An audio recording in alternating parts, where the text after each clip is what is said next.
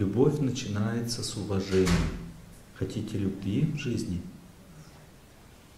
Нужно научиться больше уважать то, что нужно сделать для близкого человека, чем то, что нужно вам от него.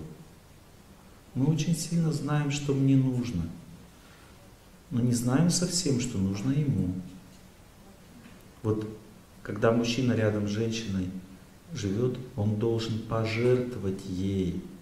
Пожертвовать, это буквально, это жертва мужчины, жертва. Он должен пожертвовать ей ее желание наслаждаться атмосферой, в которой она находится. Пускай сама все прибирает, ее это наслаждает. Пускай сама командует квартирой, там, что как должно стоять.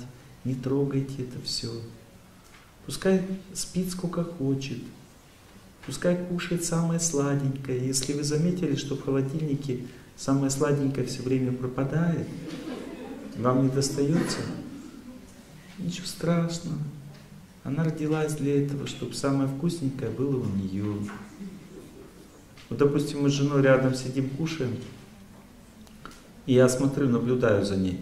Женщина, она не ест, она пробует счастье, она ищет счастье в еде.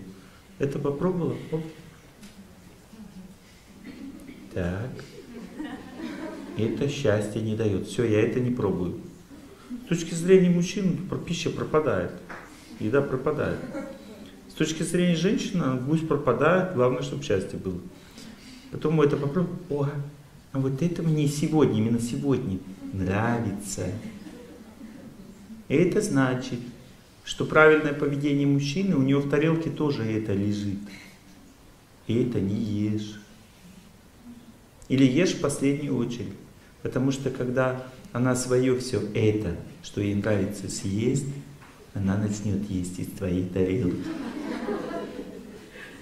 Неважно, нравится это тебе или нет, не имеет значения. Потому что женщина родилась для счастья. И это значит, что она все съест в твоей тарелке, что ей нравится. И ты должен быть рад. И если ты этому рад, дальше что происходит?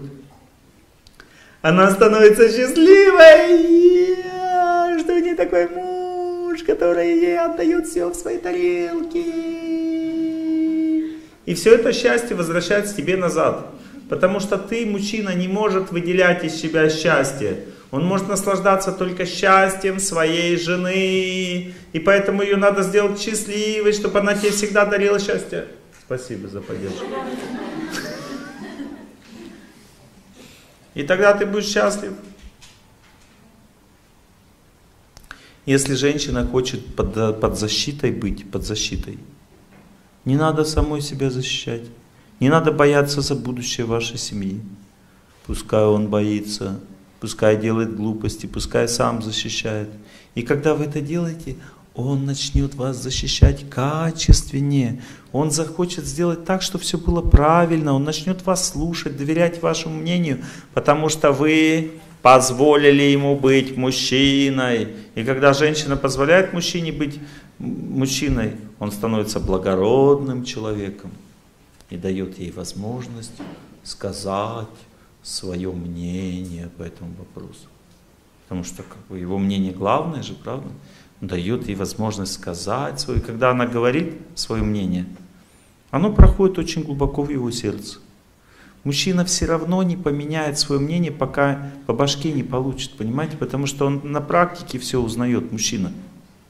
Но жен, женское сердце это как предохранитель, понимаете? Если женщина позволила ему принять решение и свое мнение иметь, то когда она свое мнение говорит, то это такое, такая штука, которая глубоко-глубоко в сердце заходит, и в тот момент, когда он должен сильно по башке получить, он не получает, потому что он вспоминает мнение жены. Она таким образом защищает его в последний момент от опасности. Ну, допустим, он работает, работает, и в тот момент, когда инфаркт должен произойти, если вы приняли его, простили, по-доброму относились, то в этот момент инфаркта не происходит. Потому что он вспоминает, что ему говорила жена или мать, не имеет значения. Но если вы его пилите, ты много работаешь, много работаешь, не отдыхаешь, то это будет обратный эффект. Он будет идти наоборот в свою сторону.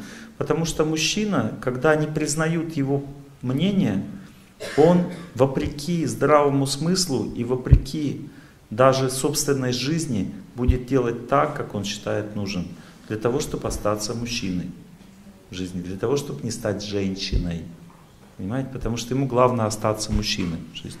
Поэтому он будет делать все так, как считает нужным. И таким образом вы его толкаете на погибель, если так себя ведете. Дайте ему возможность иметь свое мнение, он будет более чувствительный к истине. Он будет сам решать, правильно это или нет. Если вы ему говорите, это неправильно, это неправильно, ему решать нечего. Он будет считать, что точно у меня все правильно. То есть вы его ослепляете таким мнением. Не даете ему возможность двигаться вперед. Поэтому ставьте мужчину выше правды. Вы знаете правду. Поставьте человека выше прав. Дайте возможность человеку жить, как он хочет. Точно так же женщина, допустим, женщина из-за того, что она ленивая, постоянно болеет, кашляет, постоянно у нее какие-то проблемы со здоровьем. Я про свою жену говорю. Но ей нравится спать, много спать. Несмотря на лекции Олег Геннадьевич, все уже давно знают, что надо рано вставать, кроме моей жены. Я не трогаю ее. Она спит столько, сколько хочет. И когда это знание глубоко в ее сердце входит, она говорит, я не знаю, что мне делать, чтобы вставать пораньше. Я говорю, единственный способ, может, ты с подружками будешь договариваться. Она уже начинает созваниваться с подружками, чтобы раньше вставать.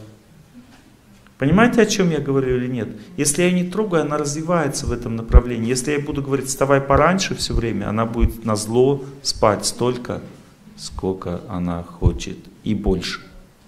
Почему? Потому что я таким образом вмешиваюсь в ее женскую природу, оскорбляю женскую природу, понимаете? Нельзя оскорблять женщину, женскую природу, дать ей возможность быть женщиной. Мужчине надо дать возможность быть мужчиной. Все мы ошибаемся. Женщина ошибается в своей лени, мужчина ошибается в своем упрямстве. Но это одно и то же, понимаете?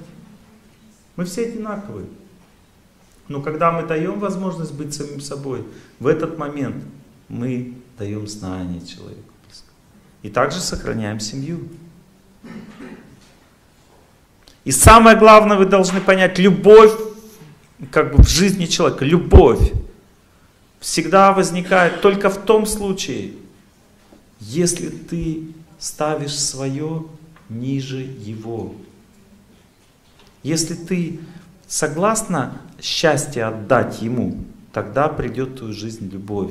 Если ты, мужчина, согласен ей отдать счастье, пускай он будет счастлив. Женщина, когда не чувствует, что все правильно идет в жизни, она не очень счастлива. Но она делает так, как муж хочет, для того, чтобы он развивался. И тогда будет любовь. Правильно, может быть, все не будет, но будет любовь. А любовь выше всего. Понимаете? Любовь выше знания, выше правильности. Если любовь в вашей жизни есть, так и знание также будет.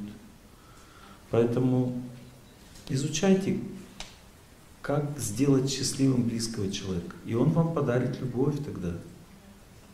Не пытайтесь наслаждаться, не пытайтесь быть счастливым с близким человеком.